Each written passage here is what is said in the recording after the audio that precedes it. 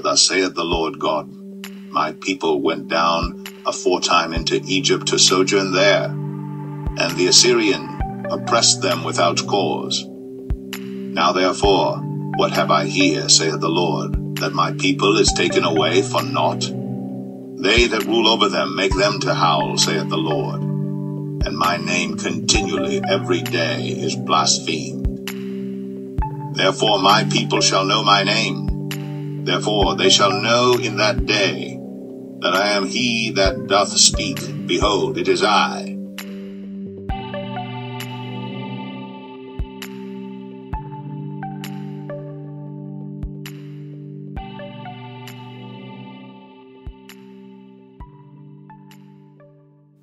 The indigenous black people have a long history of adapting to the kingdom of darkness alterations done in the scriptures, history, and the beast system. We live in a world that is run by the kingdom of darkness via the synagogue of Satan. The synagogue of Satan is a network made up of workers of iniquity in the most influential positions in this world. The scriptures refer to the high level workers of iniquity behind the scenes, assisting Satan as spiritual wickedness in high places. For we wrestle not against flesh and blood, but against principalities, against powers, against the rulers of the darkness of this world, against spiritual wickedness in high places. The people who know nothing about the Spirit do not understand the synagogue of Satan. Most people refer to the synagogue of Satan, the evil forces running the world, as white supremacy. Because most indigenous black people lack spiritual understanding, they process everything with a carnal mind and neglect everything spiritual. When the people view the world in one perspective, their vision is distorted. The scripture said we are not wrestling with flesh and blood, but with spiritual wickedness in high places. When the scripture said flesh and blood, the word of the Most High is saying your battle is not with flesh, the things you can see. Your battle is spiritual. Your enemy is spiritual wickedness in high places. Do you know what happens to a people who do not comprehend their enemy? The exact scenario playing out in the indigenous black communities worldwide, regardless of bloodline chaos and destruction. If the people cannot comprehend spirit, how are they connecting with the Elohim of Israel? The scripture said the Most High is spirit. God is a spirit, and they that worship him must worship him in spirit and in truth. On one hand, we have an Elohim that is spirit and command his worshippers to worship in spirit and in truth. On the other hand, your enemy is also spirit this enemy control every high position in the flesh. A people who do not comprehend spirit and associate everything that occurs with flesh is destined for failure. Our reality is both spirit and flesh. We are more spirit than flesh. The beast system has successfully disconnected the indigenous black people from all things spirit to disarm them. Therefore, the indigenous black people have no favor because the spiritual side of them is malnourished. Most do not know how to connect with the Elohim of Israel. Majority of them fight the spiritual wickedness in high places the Bible speak of in the flesh. You cannot fight Satan in the flesh. Fighting the kingdom of darkness in the flesh is like Satan fighting himself. If Satan casts out Satan, how can his kingdom stand? And if Satan cast out Satan, he is divided against himself. How shall then his kingdom stand?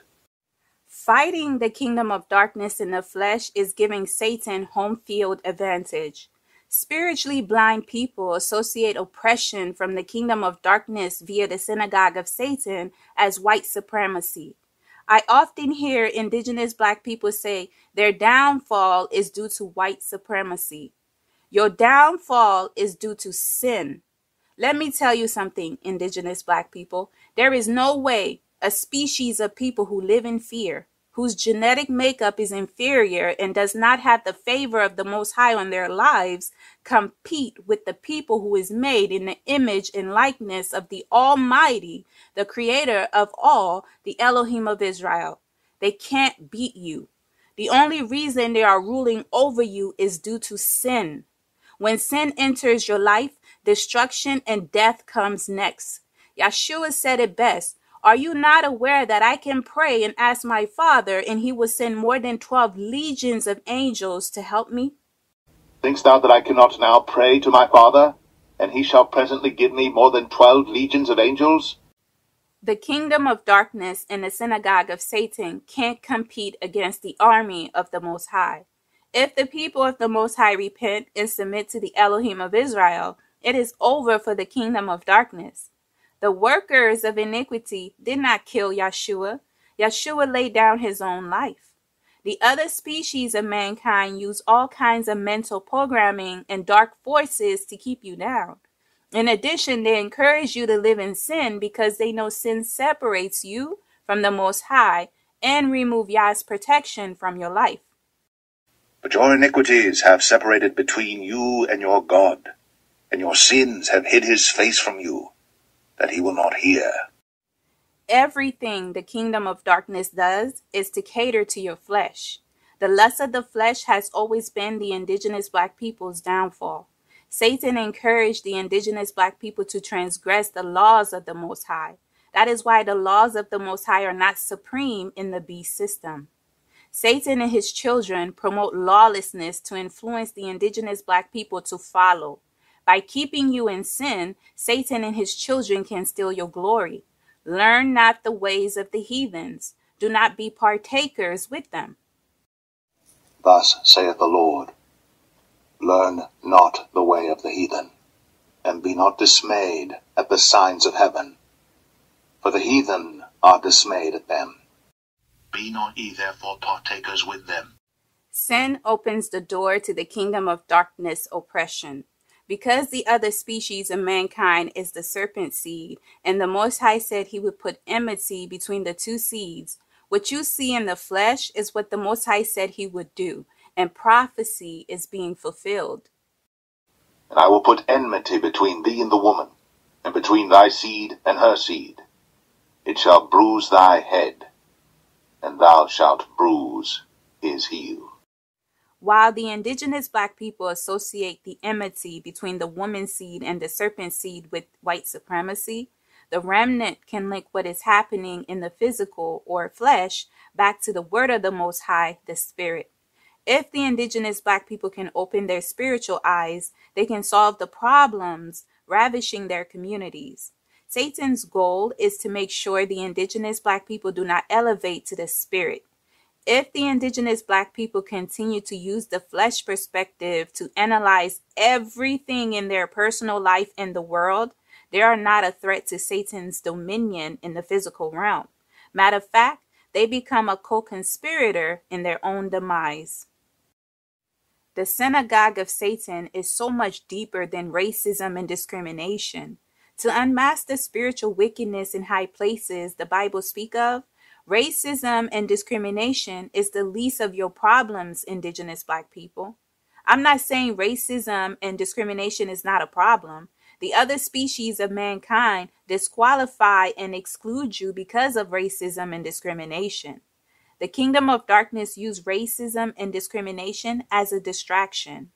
The indigenous black people have a bigger and a more diabolical enemy the ancient fallen angel Satan has been hiding behind what you call white supremacy from the beginning. He is your mortal enemy, and his kingdom is vast.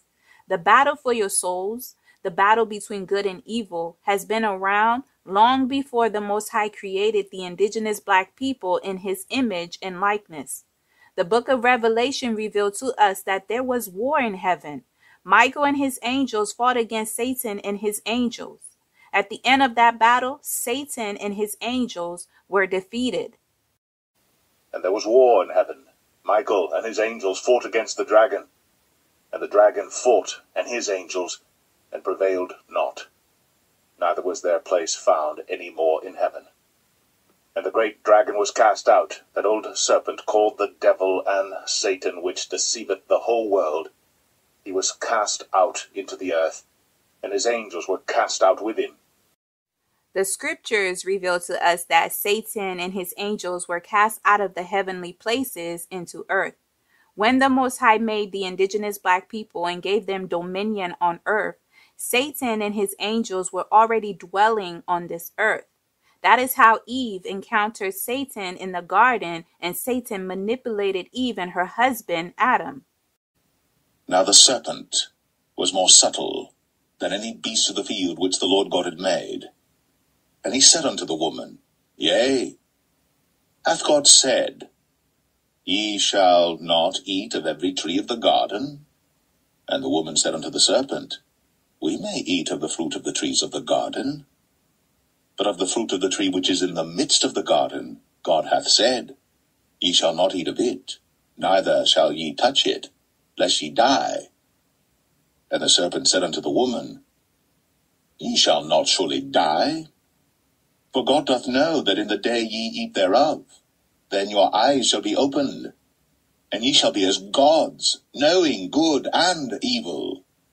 Satan and his angels were judged when the Most High cast them to earth. The scripture said, Yah made the indigenous black people a little lower than the angels and gave them dominion on earth. What is man that thou art mindful of him? And the Son of Man that thou visitest him? But thou hast made him a little lower than the angels, and hast crowned him with glory and honor. Thou madest him to have dominion over the works of thy hands Thou hast put all things under his feet.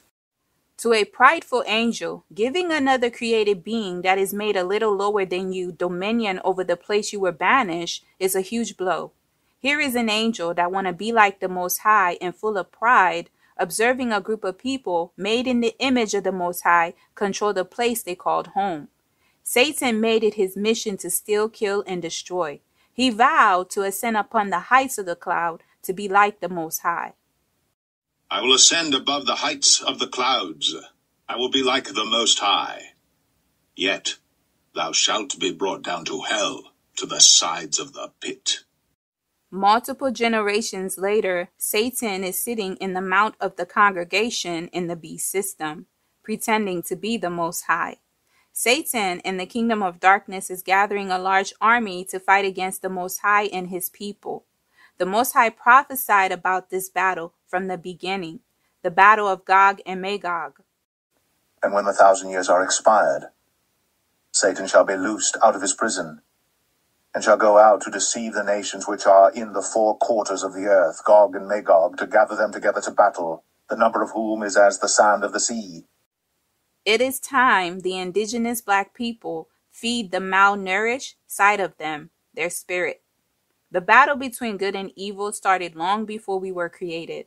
I hope the indigenous black people can begin to see the root cause to the animosity you felt your entire life from Satan and his children. The leaders, the spiritual wickedness in high places, goal is to upkeep the indigenous black people's destruction. I hope the indigenous black people can channel the energy they have for white supremacy to the root cause of white supremacy.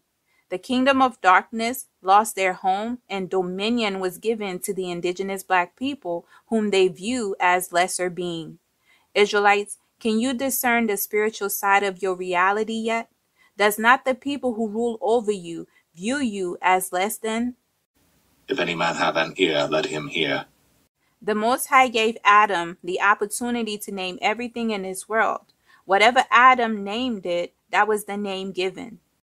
And out of the ground the Lord God formed every beast of the field and every fowl of the air, and brought them unto Adam to see what he would call them. And whatsoever Adam called every living creature, that was the name thereof. Today, we live in a society that is run by the kingdom of darkness through the synagogue of Satan. Whatever the seed of the serpent, name a geographical location, and the people they encounter is the name the whole world abide by. For example, Christopher Columbus naming the indigenous black people in the so-called New World Indians. Presently in the beast system, none of the land that are inhabited are called by their original names. Shem, Ham, Japheth, and their descendants have a habit of calling their land after their names. By doing this, it established an inheritance for their children and their descendants. These are the families of the children of Japheth, according to their cities and languages, when they were scattered after the tower, and they called their cities after their names and occurrences. And these are the names of all their cities according to their families, which they built in those days after the tower. And Seir, the son of Hur, son of Hivi, son of Canaan, went and found a valley opposite to Mount Paran, and he built a city there, and he and his seven sons and his household dwell there. And he called the city which he built Seir, according to his name. That is the land of Seir unto this day. These are the families of the children of Ham, according to their languages and cities, when they were scattered to their countries after the tower. And Moses brought their cause before the Lord. And the Lord spake unto Moses, saying, The daughters of Zelophehad speak right. Thou shalt surely give them a possession of an inheritance among their father's brethren, and thou shalt cause the inheritance of their father to pass unto them the synagogue of Satan has changed the name to every land on this earth, stealing the indigenous black people's land and inheritance. With new names like Europe, Germany, and France, Japheth indigenous black descendants do not know where their father's land is in the land of the north. The synagogue of Satan has removed those names to establish themselves. As the indigenous black people are waking up and unmasking the dark forces that surrounds them, the synagogue of Satan continued to change names. The scriptures must be fulfilled. The Most High said in the last days knowledge would increase. But thou, O Daniel, shut up the words and seal the book, even to the time of the end. Many shall run to and fro, and knowledge shall be increased. As our knowledge increased, the synagogue of Satan continued to rename places and people redefine certain words to keep up the charade. For a long time, the indigenous black people submitted to whatever name and legacy given to them by the synagogue of Satan. Because of the indigenous black people slowness to correct the false names and identity given to them, the kingdom of darkness was successful in taking the indigenous black people's glory. How come when the synagogue of Satan changed the indigenous black people's name, they did not destroy their legacy? They kept our legacy by transferring the indigenous black people's legacy for their own. What is hiding in our name? When the indigenous black people lost their name and were given a new name, they lost everything. Your name reveal your bloodline, legacy, inheritance, dominion, and future. Your name display your status and power. For example, if your last name is Gates, Fauci, or Biden, there is power in those names. All three of these names carry the power to change everyone living in this world's lifestyle. These three individuals called by those names had the influence and power to force mandates on the people, regardless of how the people felt. There is a powerful family clan that is ruled by chiefs and princes. Remember, chief and prince are spiritual beings. In the case of this family, they are being led by spiritual beings from the kingdom of darkness. The royal family made sure to preserve their bloodline by carefully selecting who they breed with and welcome into their family. This royal family has been in power for multiple generations. The synagogue of Satan never changed their name nor allow anyone to conquer that family. The reason? A lot of power, wealth, and legacy comes with the royal family.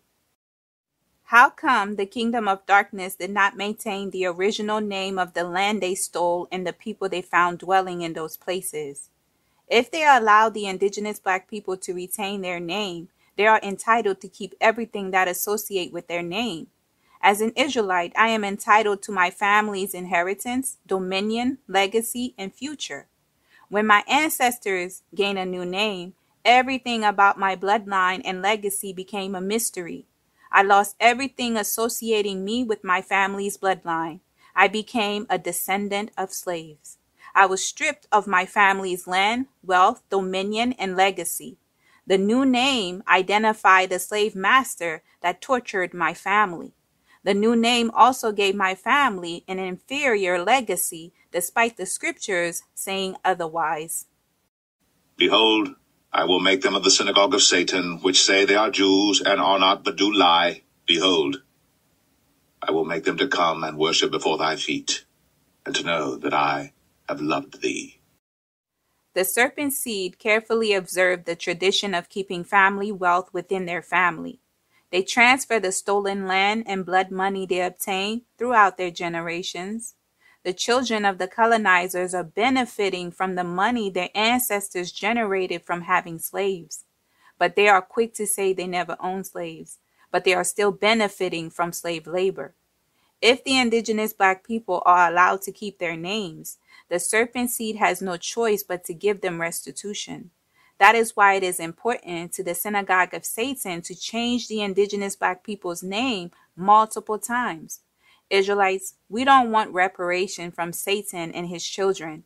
Aim to benefit from the reparation the Most High will give to his people at the appointed time. And also that nation whom they shall serve will I judge, and afterward shall they come out with great substance. When the synagogue of Satan stripped the indigenous black people of their names and associate them with animals, despite being the only pure humans, a legacy of slavery and curses was given to the indigenous black people. Anything that is written about black people in the beast system talks about slavery and how the indigenous black people overcame slavery. There is no mention about our bloodlines. You must be careful with the covenants you make. With the indigenous black people accepting the name change, a covenant was established. Every time the synagogue of Satan changed your name, the indigenous black people renew the covenant. The Most High warned his people in the scriptures to make no covenant with the people they live among. Thou shalt make no covenant with them, nor with their gods. And when the Lord thy God shall deliver them before thee, thou shalt smite them and utterly destroy them. Thou shalt make no covenant with them, nor show mercy unto them. And ye shall make no league with the inhabitants of this land. Ye shall throw down their altars. But ye have not obeyed my voice. Why have ye done this? The covenants the indigenous black people forged with the synagogue of Satan are evil covenants. These covenants are to benefit the kingdom of darkness and the serpent seed. That is why it is important to listen to the Most High and make no covenants with them. For example, accepting that all indigenous black people are Hamites and were cursed, that is an evil covenant established to bring forth curses into your life. When we accept to be called black, people of color, Negro, Africans, and the many other names our enemies has given to us, our bloodline was taken away, our inheritance was given to the other species of mankind. When we accept to be called by the names given to us by our enemies, we were reduced to a color and a product. It is important for the indigenous black people to not accept the name and false legacy given to them by their enemies. During the internet age, the indigenous black people gain a voice. The evil the synagogue of Satan intended with social media and the internet, the Most High has turned around for good. But as for you, ye thought evil against me, but God meant it unto good to bring to pass, as it is this day, to save much people alive. The synagogue of Satan censor and shadow ban channels like this while lying to the public about uplifting authoritative indigenous black voices. The only voices they are uplifting in the indigenous black communities are the voices that reinforce their agendas and forgive their wickedness. Israelites and indigenous black people, you should not accept anything less. The time has come for the people of the Most High to stop trading their glory for crumbs. Hath a nation changed their gods, which are yet no gods? But my people have changed their glory for that which doth not profit. The indigenous black people, the synagogue of Satan is hiding in secluded places around the world, can now speak up and talk about their culture and bloodline via social media and the internet. That is why censorship is at its highest right now. The whitewashed people that are promoted in the media is no longer the faces to the indigenous black people's land and bloodline. The synagogue of Satan is pushing the people of color name because the people of color name give the whitewashed bastard children of the colonizers an identity with the indigenous black people. And ye shall know the truth, and the truth shall make you free. The Most High play no games when it comes to his name. When the people call the Most High by strange names, they are calling on other deities. The pagan names you were taught to be the Elohim of Israel are demons in disguise. Baal is a prime example. The Most High hate the sin of idolatry. When you use other pagan names like Jesus and Jehovah, you are crying out to devils. And all things that I have said unto you be circumspect and make no mention of the name of other gods, neither let it be heard out of thy mouth. The Most High command his people to not take the name of the Most High in vain. The Most High said he will not hold anyone who does this guiltless.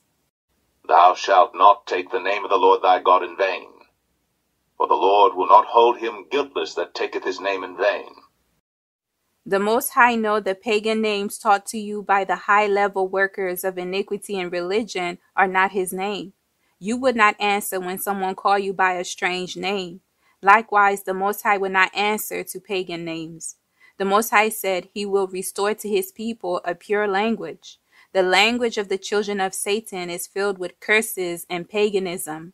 That is why English is the chosen language spoken by the majority in the beast system. But then will I turn to the people a pure language, that they may all call upon the name of the Lord to serve him with one consent. When the indigenous black people became a color and a product with the names given to them by the kingdom of darkness via the synagogue of Satan, the indigenous black people lost their bloodline, history, inheritance, and future. The indigenous black people's stolen heritage became the children of Satan's new identity. This is why they believe they are the Israelites and the Egyptians. They will even fight over fictitious characters. I am glad to know that the indigenous black people will be restored. I am grateful that the Most High will reveal his name to his people at the appointed time. In addition, his true name will be written on their foreheads. He that hath an ear, let him hear what the Spirit saith unto the churches. To him that overcometh, will I give to eat of the hidden manna, and will give him a white stone, and in the stone a new name written, which no man knoweth saving he that receiveth it. And they shall see his face, and his name shall be in their foreheads. Israelites and indigenous black people, we must take the necessary steps to reclaim what belonged to us. When the synagogue of Satan and their descendants try to change your name and give you a legacy that don't belong to you, reject their pagan names and forge no covenants with them. We are more than descendants of slaves. As the original people of this world, made in the image of the Most High, we must take our place and utilize our resources to pass on our true names, bloodline, legacy, and culture to our children and future generations. To serve our Elohim in the spirit and in truth, we must know who we are. As we start to remember ourselves, let us do as the scripture said return to our Elohim, repent, and praise him. How beautiful upon the mountains are the feet of him that bringeth good tidings, that publisheth peace, that bringeth good tidings of good, that publisheth salvation, that saith unto Zion, Thy God reigneth. Thy watchmen shall lift up the voice, with the voice together shall they sing, for they shall see eye to eye, when the Lord shall bring again Zion. Break forth into joy, sing together, ye waste places of Jerusalem. For the Lord hath comforted his people, he hath redeemed Jerusalem.